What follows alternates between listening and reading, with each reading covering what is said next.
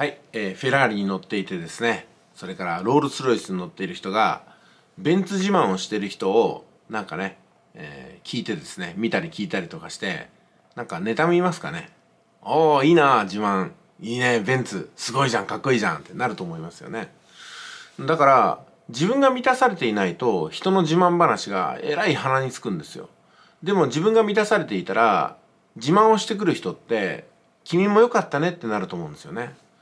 できればそういうふうにやっていきたいなと思いますし仮にそうでなくても自分は手に入ってないんだけども君は手に入ってよかったねっていうふうに言えるような人格を身につければいいんじゃないかなと思うんですよ。なんか知んないけどね人が成功したりとかね人が何かを自慢してきたらなんか腹が立つとかね自慢すんじゃねえよって言ってるのはいや自慢ぐらい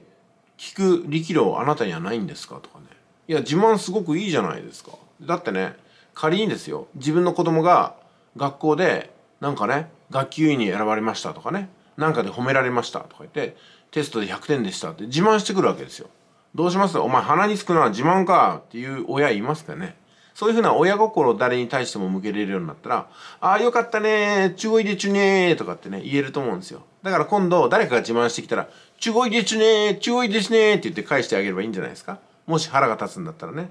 いや、私はね、だから誰かが自慢してきたら、え、すごい、どうやったらそうなれるの？ってついついね、聞いてしまって、自分もその人の自慢話に乗っかっちゃいたいですよね。うん、おこぼれをもらうって感じですか。